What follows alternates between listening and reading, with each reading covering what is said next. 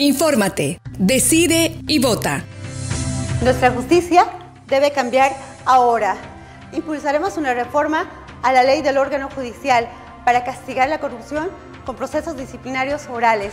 Formaremos jueces especializados, crearemos expedientes digitales, evaluaré públicamente a los jueces. Juntos construyamos una justicia independiente. Dos pilares fundamentales. La primera, aplicar inmediatamente las tecnologías de información y comunicación en los trámites del órgano judicial para tener una justicia pronta y transparente libre de corrupción. Y la segunda, capacitar y actualizar a todos los servidores del órgano judicial y derechos reales con el objeto de devolver la confianza a la población. Elecciones Judiciales 2024.